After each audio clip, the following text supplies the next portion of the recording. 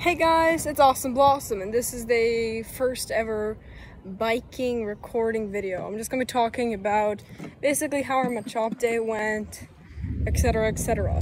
So, for the Machop day, I played a reasonable amount of time on it. Uh, I would say almost the entire event, ever since I woke up and that thing was there. So, reasonably, I should have gotten a shiny.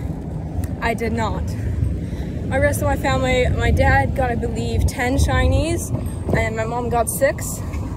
Six shiny Pokemon.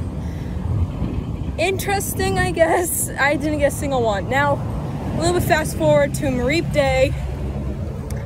You know how there was this research where you had to checklist things? A bunch of Pokemon that you had to catch and everything?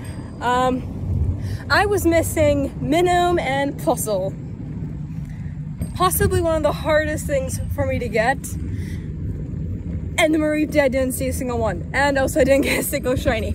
I couldn't believe the spawns. I couldn't believe I didn't get the electric Pokemon, especially when I'm supposed to get a Mareep. Any shiny Danos or anything like that. Yeah, no, completely missed out on that. Nothing for the shiny Mareep Day. Yeah. I hope though, I'm not like wasting my shiny luck and I'm happy I didn't get the shinies because if I am, I would consider it wasting because I want to use all my shiny luck for the shiny Roselia day because that's when I really want those shinies. So yeah, first ever biking while recording. If you guys want, I can do this more for more detailed vids. Recording on the Pokemon Go news, which would be, I think, pretty cool. You guys can kind of see the colors of the sunset. Beautiful.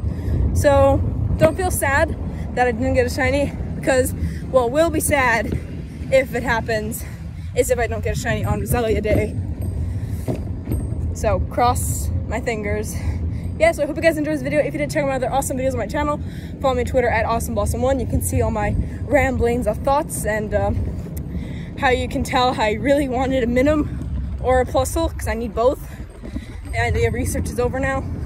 Didn't get that badge. So get out there, catch those Pokemon, stay safe guys, and stay awesome. Bye!